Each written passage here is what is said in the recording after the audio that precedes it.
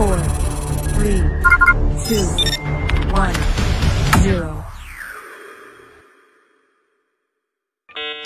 Слава Україні! Її відважним мешканцям і гідним захисникам. Обстановка вздовж лінії зіткнення складна, але контрольована. Противник продовжує інженерне укріплення своїх позицій, на які він відтиснутий діями наших підрозділів.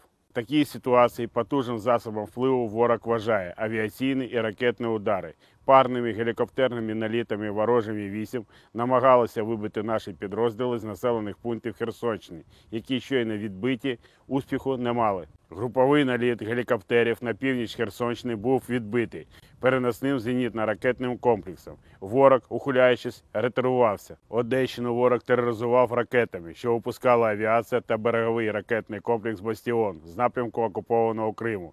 Одну ракету знищено над Одеським районом. Ще п'ять атакувало Чорноморське узбережжя в Ізмаїльському. Завдяки обмеженню використання берегової смуги ушкодження мінімізовано, жертв немає.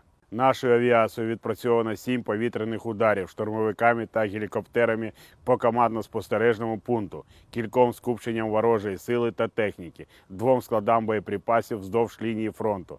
Нашими ракетно-артилерійськими підрозділами відпрацьовано близько 150 вогневих завдань. Завдяки цьому російську армію втрачено понад 4 десятки рашистів, дві гаубиці МСТА-Б та самохідну МСТА-С, три одиниці броньованої та автомобільної техніки, а також польовий склад пально-мастильних матеріалів. Остаточні результати дорозвідуються.